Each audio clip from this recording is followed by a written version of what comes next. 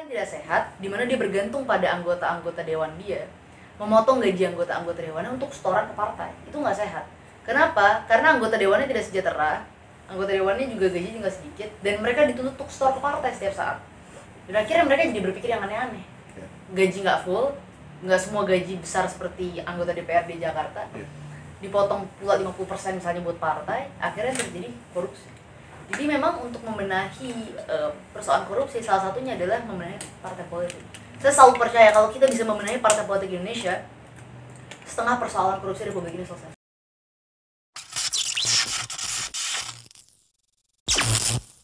Sahabat Jona Channel, mari kita lanjutkan perbincangan menarik dengan politisi muda, milenial, dan Ketua Dewan Pimpinan Pusat Partai Solidaritas Indonesia, Mbak Samara Amani Alatas.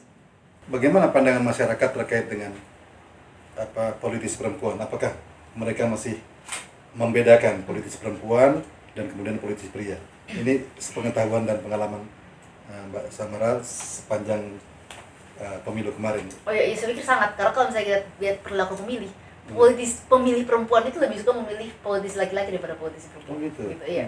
Jadi memang eh, ada ada masalah Hmm. dan ada ada persepsi di masyarakat kita bahwa laki-laki lebih kompeten daripada perempuan gitu. Karena memang persepsinya ya perempuan tuh eh, mengurusi urusan domestik saja dan bahkan bukan hanya itu. Kalau kita lihat kalau kita bicara isu pol- politisi-politisi perempuan Hmm. Ya tentu kita pengen politisi perempuan seperti tadi saya katakan memang harus mewakili eh, isu perempuan Hmm. tapi biasanya bicaranya tuh hanya lebih dari itu jadi misalnya nggak lebih dari itu jadi misalnya dianggap oh kalau misalnya ada politisi perempuan dia masuk ke dalam DPR ya pasti ngurusnya udahlah kamu urusin isu-isu perempuan atau isu-isu anak Ya. gitu kayaknya nggak bisa Nggak, politisi ya. perempuan tuh lebih dari itu misalnya ngurusin pilkada Hmm. atau politisi perempuan bicara masalah pertahanan itu sesuatu yang jauh di dalam pandangan Ya. masyarakat kita gitu makanya saya senang banget kemarin ketika ada eh, kawan saya itu Mbak Mutia Hafid dari Golkar jadi ketua komisi satu yang memang ngurusi pertahanan komunikasi informatika. Karena memang itu tidak tidak biasa dalam dalam pandangan masyarakat kita bahwa politisi perempuan kalau kamu perempuan kamu urusannya domestik. Meskipun kamu nanti masuk ke dalam DPR ya kamu harus bicara isu-isu perempuan yang sifatnya domestik. Bukan eh, isu-isu yang yang besar seperti itu gitu. Jadi itu yang terjadi. Jadi memang eh, pemilih perempuan kita pun juga masih skeptis terhadap politisi perempuan. Apakah bisa Hmm. betul-betul mewakili atau tidak memang yang harus dilakukan sama politisi perempuan pada akhirnya memang eh, fokus pada program saja ya ada beberapa yang berhasil tapi juga ada beberapa yang memang eh, masih sulit untuk eh, terus maju Ya terkait dengan itu pula kita kan banyak sekali jabatan-jabatan strategis. Hmm. Nah, menurut pandangan Anda, Anda setuju nggak jabatan strategis itu juga kepada perempuan juga diberikan gitu? Artinya ya ya sesuai dengan kuotanya atau seperti di DPR tidak termasuk dalam konteks 30% itu ternyata jauh. Nah, sekarang jabatan strategis di pemerintahan atau negara itu bisa diisi oleh perempuan-perempuan. Ya, saya pikir eh, memang memang saya sih percaya sama meritokrasi ya. Jadi artinya siapa pun itu selama dia layak, kompeten dan memang dia punya program harus bisa Iya. terpilih. Dan saya kira juga banyak perempuan Indonesia yang kalau kita lihat dari segi merit ya layak untuk menduduki banyak jabatan. Hmm. Itu juga sering saya kritik kenapa kita punya menpora tuh harus laki-laki dari dulu. Padahal menpora itu kan bukan menteri. Kenapa harus ada menteri pemuda tapi tidak ada menteri pemudi? Soalnya perempuan dan anak itu perlindungan perempuan. Jadi pandangan pemerintah Iya. kita terhadap perempuan itu memang perempuan itu lemah gitu. Jadi kita lihat menteri Kementerian Perlindungan Perempuan dan Anak gitu. Hmm. Eh, pemberdayaan perempuan dan perlindungan anak gitu. Pemberdayaan perempuan sementara soal perempuan itu masih belum diberdaya, Ya. jadi butuh diberdayakan. Sementara yang ngurusin anak muda, yang diurusin hanya anak muda yang laki-laki seolah-olah gitu. Jadi Hmm. ada ada persoalan menurut saya dari eh, nama-nama instansi Nah, pemerintah. kritik Anda terkait dengan itu apa? Ya kritik saya sih terkait dengan itu misalnya kalau kita bicara Menpora ya itu bukan kementerian laki-laki dan bukan kementerian maskulin sebenarnya. Hmm. Karena kalau kita bicara Kementerian Pemuda dan Olahraga, kenapa ngurusinnya olahraga terus? Kan ada isu anak muda di situ. Dan kita ketika bicara kita ada isu anak muda, anak muda itu bukan hanya laki-laki, ada anak muda yang perempuan. Yang isunya berbeda dengan misalnya anak Iya. muda laki-laki kan. Misalnya anak muda perempuan juga ada yang misalnya keluarga-keluarga muda misalnya. Itu juga harusnya menjadi perhatian Menpora, Kemenpora. Tapi kita selama ini sangat maskulin pandangan terhadap kemen- kementerian itu. Jadi selalu yang jadi menterinya laki-laki misalnya. Hmm. Artinya saya nggak ada masalah dengan menteri sekarang dan lain sebagainya. Cuma saya melihat dari semua periode pemerintahan, Menpora itu pasti laki-laki. Nah, Iya. pemberdayaan perempuan dan perlindungan anak, perempuan tuh pasti sama anak gitu.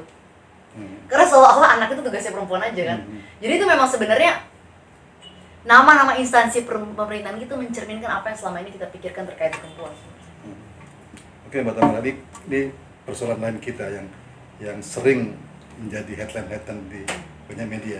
Bagaimana pandangan Anda terkait dengan persoalan bahwa tindak pidana korupsi selalu saja terkait dengan partai politik? Iya. Kalau menurut saya itu tadi seperti yang sudah saya jelaskan kenapa tindak pidana korupsi itu berkaitan dengan partai politik karena memang proses eh, pencalonan, proses rekrutmen itu semuanya berkaitan dan partai itu tidak memiliki sumber dana selain dari kader-kader ini. Hmm. Jadi partai yang sehat harusnya dia itu punya anggota di mana anggota itu iuran partai Hmm. atau punya pendukung di mana pendukung itu donasi partai. Maka dia bisa menjalankan operasional partai. Nah, partai yang tidak sehat di mana dia bergantung pada anggota-anggota dewan dia, memotong gaji anggota-anggota dewannya untuk setoran ke partai. Itu nggak sehat. Kenapa? Karena anggota dewannya tidak sejahtera, anggota dewannya juga gaji juga sedikit dan mereka dituntut untuk store ke partai setiap saat. Dan akhirnya mereka jadi berpikir yang aneh-aneh Ya. gaji nggak full, nggak semua gaji besar seperti anggota DPRD Jakarta, Ya. dipotong pula 50% misalnya buat partai, akhirnya terjadi korupsi. Jadi memang untuk membenahi eh, persoalan korupsi salah satunya adalah membenahi partai politik. Saya selalu percaya kalau kita bisa membenahi partai politik Indonesia, setengah persoalan korupsi Republik ini selesai. Jadi ya agak sulit ya, agak sulit dalam artian bahwa korupsi yang terjadi selalu di dalamnya kasus-kasus korupsi selalu saja ada politisi Iya. di DPR bahkan di pemerintah yang Iya. juga politisi dan sebagainya. Nah, apa apa nggak nggak ada solusi mbak menurut mbak ke depan gitu? Karena kalau begini terus kan Indonesia ya Nah, ya soal rekrutmen tadi dan sebagainya ya. Sebenarnya eh, solusinya adalah merevisi undang-undang partai politik. Masukkan saja dari standar-standar atau eh, kewajiban-kewajiban yang diperlukan oleh partai. Misalnya wajibkan aja partai dalam eh, menyusun daftar calegnya, membuat panel independen, transparansi. Kemudian em, dalam proses pilkada dia harus diwajibkan uji publik dan lain sebagainya. Masukkan saja dalam undang-undang partai politik, undang-undang pilkada dan lain sebagainya. Persoalannya yang merevisi atau mampu merevisi undang-undang ini adalah politisi yang mewakili partai politik tertentu Iya. juga.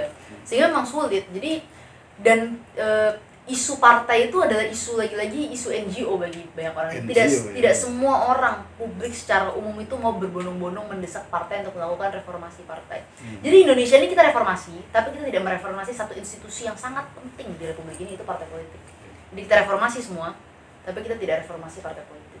Nah, itu kenapa sebenarnya saya dan teman-teman saya mendirikan PSI karena kita ingin menjadi antitesa dari partai-partai yang sudah ada. Ya justru apa pandangan masyarakat kalau dia politisi ya ya dia juga korupsi gitu. Iya. Karena memang kenyataannya ya begitu. Karena kenyataannya banyak sekali Hmm. politisi yang eh, korupsi, walaupun tidak semua politisi juga Ya. tidak benar. Hmm. Dan sebenarnya kalau misalnya kita lihat politisi itu penting sekali sebenarnya. Saya sih sangat saya sangat menganggap penting kader-kader partai. Saya jadi menga- menganggap penting partai politik. Jadi tidak pernah dalam pikiran saya atau semangat saya kita harus melakukan deparpolisasi atau misalnya meniadakan partai Ya. politik. Banyak masyarakat Indonesia yang karena mereka sudah lelah dengan partai politik, mereka menganggap udah nggak perlu ada partai politik, Ya. kita tokoh-tokoh independen aja gitu dan lain Mhm. sebagainya. Kalau saya menganggap sebaliknya, kita butuh partai Betul. kita butuh eh, perwakilan yang memang eh, jelas dalam sebuah organisasi walaupun partai-partai Indonesia memang secara ideologi ya memang Iya. sangat samar gitu Ya. tapi yang jelas kita butuh eh, partai politik yang harus dilakukan itu bukan membubarkan partai politik atau meniadakan partai politik tapi Hmm. membenahi partai ini Iya. Ya katakanlah kalau toh politisi ya oknum politisi yang korupsi, Iya, iya. bukan bukan politisi partai itu. Iya, iya. Tapi tapi oknum partai politisi tersebut gitu kan. Cuma memang kita kan susah kan, kita Hmm. memang nggak mudah kita membedakan antara politisi dan institusi yang diwakili gitu. Jadi ketika kita lihat banyak sekali OTT KPK terhadap Hmm. eh, anggota partai politik dan anggota dewan, maka kita akan terbangun citra kita bahwa DPR itu korup dan partai itu korup. Iya. Dan untuk menyelesaikan itu semua ya memang harus diselesaikan dari partai. Sebenarnya DPR ini, masalah DPR ini kan ada pada partai. Orang-orang dalam DPR ini kan adalah perwakilan partai politik. Hmm. Jadi kalau partainya sudah benar, maka dengan sendiri DPR itu betul. Masyarakat percaya misalnya kehadiran kehadiran PSI ini wah dia bersih. Hmm. Itu Ya. bagaimana cara membuktikannya? Kan belum belum juga tampil sebagai Pasti. ah, ya. artinya masyarakat pasti awalnya skeptis. Ar- Iya. Ada 3 juta orang yang percaya sama kita bahwa Tiga kita juta. memang eh, memperjuangkan nilai yang sama dengan mereka. Tapi juga baik yang skeptis gitu. Hmm. Tapi memang saya nggak mau menyalahkan masyarakat yang skeptis atau yang nggak yakin karena mereka sudah terlalu sering dibohongi oleh partai politik. Hmm. Gitu. Jadi mereka terlalu sering dikecewakan oleh partai politik. Kenapa saya harus percaya sama kamu? Kamu sama aja kok. Gitu. Jadi memang nggak bisa kita tidak bisa melakukan itu dengan narasi dan kampanye. Iya. Yang bisa kita lakukan adalah pembuktian. dan sekarang alhamdulillah kita sudah ada dalam DPRD kita lakukan pembuktian itu kita lihat uh, selama lima tahun ke depan biar publik menilai bagaimana nanti uh, mereka melihat PSI di Iya. tingkat daerah Lalu bagaimana sih Mbak kalau pandangan Mbak? Bahkan udah kemarin di pemilu kemarin sudah jadi caleg ya. Hmm. Eh kabarnya itu gimana sih? Pencalegan Mbak akhirnya Iya. kalah atau jadi gini ceritanya em, kita ini kan memang dalam sistem Indonesia kita itu harus lewat parliamentary threshold 4% parliamentary threshold yang dipatok pada pemilu kemarin Hmm, Em, di Jakarta kita ini sebenarnya salah satu partai terbesar ya. jadi kayak misalnya saya saya nyalek di dapil Jakarta 2 yaitu Jakarta Hmm. Selatan Jakarta Pusat dan luar negeri luar luar negeri. Nah, jadi di tiga dapil itu sebenarnya saya menang. Jadi saya dapat kursi, saya dapat 140 ribu suara, dan sebenarnya bisa melenggang ke Senayan. Yang membuat tidak bisa melenggang ke Senayan adalah fakta bahwa PSI tidak memenuhi 4%. Ya. Dan eh, ada beberapa juga eh, caleg-caleg kita yang masuk ke dalam Senayan, misalnya Isyana Bagus Oka, 50 ribu suara di Tangsel, nggak bisa ke Senayan. Atau Grace Natali. Grace Natali itu menduduki suara terbesar di dapil dia, dapil Jakarta 3. Jakarta Barat, Jakarta Utara, dan Pulau Seribu. Nah, itu juga nggak bisa masuk. Jadi eh, faktor yang memang membuat kita tidak bisa masuk kemarin ya parliamentary threshold. Ya, artinya bukan PSI saja ya kalau seperti itu ya. Iya. Tapi partai lain masih bisa Iya. Seperti itu. Ya itu juga sebenarnya yang sekarang eh, saya lagi pikirkan untuk gugat juga ke Mahkamah Konstitusi. Hmm. Karena eh, ada kerugian konstitusional. Saya tidak tahu sebenarnya yang lebih layak menggugat ini saya atau masyarakat dari Hmm. dapil saya. Jadi ini masih dipikirkan legal standingnya. Karena di situ ada kerugian konstitusional. Hmm. saya misalnya dapat suara dan saya layak masuk Senayan, tapi Iya. karena parliamentary threshold, maka suara itu sia-sia dan Iya. terbuang. Sama juga seperti masyarakat. Ada misalnya tokoh-tokoh atau caleg-caleg dengan suara yang jauh lebih kecil, misalnya 15 ribu, 25 ribu, Iya. dia melenggang ke Senayan karena partainya masuk ke dalam uh, Iya, parliamentary betul. threshold. Artinya sebenarnya kita bisa katakan bahwa ada 140 ribu masyarakat di dapil tersebut yang kehilangan representasinya di dalam DPR. Artinya mereka sebenarnya tidak disuarakan suaranya Hmm. karena memang e, mereka tidak memiliki representasi. Karena suara mereka dibuang begitu saja atas dasar tersebut. Itu sebenarnya kita ingin tawarkan solusinya dibandingkan parliamentary threshold, Hmm. kita ingin tawarkan fractional threshold. Jadi sama seperti DPRD. Ketika siapa pun terpilih, maka dia masuk Senayan. Persoalannya ketika dalam Senayan dia tidak punya fraksi, dia membentuk fraksi dengan partai-partai yang memiliki fraksi Ya. itu yang terjadi dalam DPRD jadi jangan sampai kita em, buang suara masyarakat sedikit pun karena kita kalau misalnya kita lihat misalnya Mahkamah Konstitusi dalam eh, putusan-putusannya gitu dan kemudian eh, kalau dalam sengketa Pilpres 2014 dan bahkan sengketa Pilpres 2019 kita lihat betapa penting setiap suara masyarakat bahkan ketika kita tidak ada dalam daftar DPT Hmm. kita itu kalau pakai KTP saja bisa nyoblos tuh Ya. Kenapa? Karena sebenarnya negara itu menjamin hak pilih setiap orang. Negara itu sangat mementingkan suara setiap orang. Hmm. Tapi ke- di sisi lain kontradiksi kontradiksinya kita membuang ratusan ribu suara masyarakat yang sudah memilih hanya karena atas dasar justifikasinya adalah simplifikasi pengambilan keputusan Hmm. dan simplifikasi partai politik, penyederhanaan proses pengambilan keputusan dan penye- penyederhanaan em, partai politik. Yang sebenarnya harusnya kita bebaskan saja dalam mekanisme demokrasi. Iya. Eh, Mbak Samara, kita kan di Indonesia ya sudah rahasia umum lah bahwa panggung politik nasional masih dikuasai oleh orang-orang lama. Nah, pandangan Anda ke depan misalnya untuk 2024 seterusnya terkait dengan pemilu, eh, bagaimana cara kita untuk orang-orang lama ini ya agak legowo dan sebagainya memberikan memberikan peluang kepada kaum milenial, politisi muda, politisi wanita muda dan seterusnya. Ya saya pikir itu akan masih lama terjadi karena kemarin saya juga baru gugat eh, ke Mahkamah Konstitusi terkait Hmm. undang-undang pilkada itu saya meminta eh, mahkamah untuk menurunkan batas usia pencalonan Hmm. eh, calon wali kota, bupati dan calon gubernur dari 30 tahun ke 20 dan 25 tahun ke 21 tahun sama seperti batas usia calon Hmm. anggota legislatif eh, dan dasar dasarnya bahwa manusia dewasa itu orang Ya. orang dewasa di Indonesia itu dianggap setelah usia 21 tahun. Tapi Mahkamah Konstitusi menolak dengan anggapan bahwa setiap jabatan memiliki karakteristik tertentu sehingga tidak bisa disamaratakan Hmm. dan karena itu dia tetap berpegangan bahwa eh, silahkan itu eh, kamu saya kembalikan lagi kepada pembuat undang-undang dalam DPR sana Hmm. karena menurut mereka tidak ada persoalan konstitusional dan semoga nanti tidak beralasan menurut hukum sementara menurut saya itu adalah persoalan konstitusional yang sangat mendasar karena kita diperlakukan tidak sama di hadapan hukum itu diskriminatif Hmm. dan sebenarnya itu bertentangan dengan hak seseorang ketika seorang itu dijamin hak memilihnya Hmm. maka sebenarnya dia juga dijamin hak dipilihnya. Tapi di Indonesia ini kita memberikan hak pilih seorang pada usia 17 tahun tapi mereka bilang tunggu dulu kamu Iya. belum punya hak untuk dipilih nanti sampai usia tertentu kamu baru punya hak untuk dipilih sebenarnya itu juga ada masalah eh, terkait itu dan memang juga sampai sekarang DPR tidak melihat ada urgensi eh, untuk eh, merevisi undang-undang tersebut gitu jadi justru menurut saya memang masih agak lama proses regenerasi itu Hmm. jadi kita akan bicara bonus demografi dan para politisi kita ini akan kampanye untuk memenangkan suara anak muda, Iya. tapi tidak ada anak muda yang kemudian diberikan peluang untuk bisa menduduki jabatan-jabatan tertentu karena dianggap belum matang. Iya. Padahal juga nggak ada jaminan yang lebih tua lebih matang daripada yang muda Iya. gitu. Nggak ada jaminan bahwa yang lebih tua itu lebih kompeten dari yang muda. Menurut saya sebenarnya masalahnya itu bukan tua atau muda ya Pak Rusdi. Iya. Masalahnya adalah kita tidak memberikan kesempatan yang sama ter- kepada setiap warga negara untuk berkompetisi dan tidak tidak mengembalikan Hmm. kedaulatan rakyat dan kedaulatan publik. Publik itu kita berikan ke- kekuasaan dalam menentukan. Jadi kompetisinya kita buka kepada anak muda kepada orang tua kepada siapa pun itu muda tua laki perempuan. Dan kemudian biarkan publik menilai siapa yang mereka yang pilih. Jadi kalau memang dianggap anak muda tidak matang, kita kembali kepada publik benar gak tidak matang? Atau kita tanya kepada publik, oh enggak kok menurut publik bagus.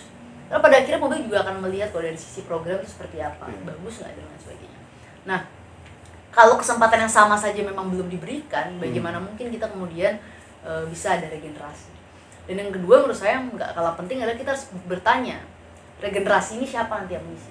Hmm. Karena kalau per hari ini memang kita saya lihat fenomena anak muda masuk politik itu terlalu sedikit sedikit ya. sedikit sekali ya. Jadi fenomenanya itu em, lebih banyak mm, anak-anak muda yang memang sekarang memang lagi zamannya ya, Hmm. eh, bikin startup, berbisnis dan lain sebagainya, tapi tidak masuk ke politik. Udah saya selalu bilang kalau kamu mau bisnis kamu bagus, startup kamu bagus, ya kamu harus punya orang-orang muda dalam politik yang bisa paham regulasi apa yang harus eh, Iya. Yang bagus untuk startup-startup ini gitu. Karena yang sudah terlalu jauh generasinya dari kamu nggak Hmm. akan paham tentang isu-isu ini semua. Nah, ketika semuanya itu tidak ada yang mengisi, artinya anak-anak muda yang bisa punya eh, isu tertentu diwakili, bukan hanya isu politik ya. Saya pikir Hmm. politik itu sangat luas, banyak isu yang bisa kita wakili dalam sana.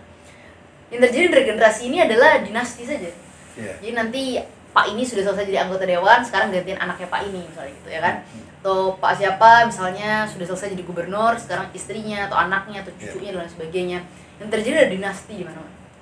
Jadi kalau memang kita tidak suka dan memang s- ingin ada regenerasi yang lebih fresh gitu artinya nggak itu itu terus gitu politik Iya. Indonesia wajahnya ya kita harus ada yang berani masuk ke dalam politik dan prosesnya nggak akan secepat saya tahu prosesnya itu pasti panjang Iya. tapi harus ada yang memulai Tapi kan kita lihat masuk dunia politik dan politik tadi Mhm. berbiaya tinggi kan? Mungkin di situ terkait dengan dinasti politik.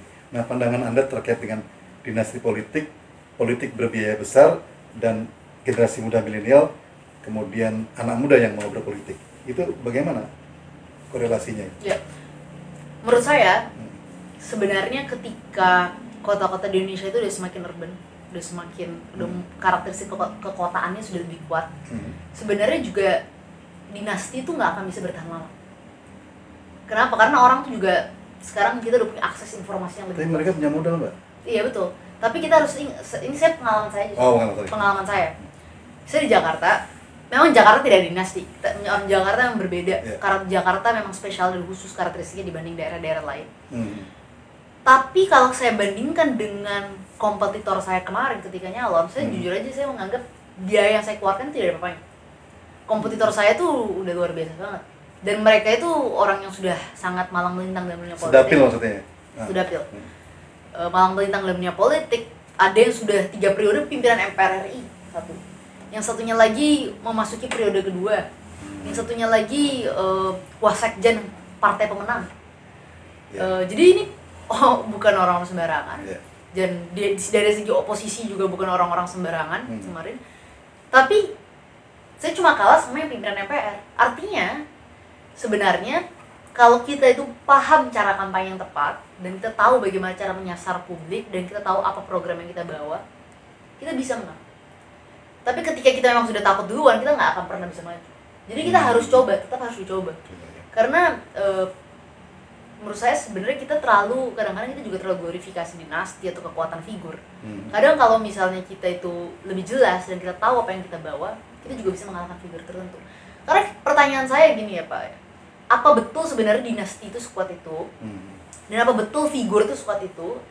Atau jangan-jangan memang masyarakatnya nggak ada alternatif? Mhm. mereka tidak menganggap ada sesuatu yang menarik dan tidak ada kebaruan. Jadi yaudah saya pilih dia saja lah saya kenal karena ketika kita tidak punya harapan ketika kita tidak punya alternatif kita akan pilih orang yang kita tahu bukan kita suka Iya. yang kita tahu itu itu memang logika Iya. politik eh, praktis gitu jadi pemilih itu akan memilih yang mereka tahu dulu jadi bukan suka dulu bukan tertarik dulu tapi yang Iya. mereka tahu tapi ketika mereka tahu banyak orang Iya. mereka kemudian memiliki kemungkinan untuk memilih lebih banyak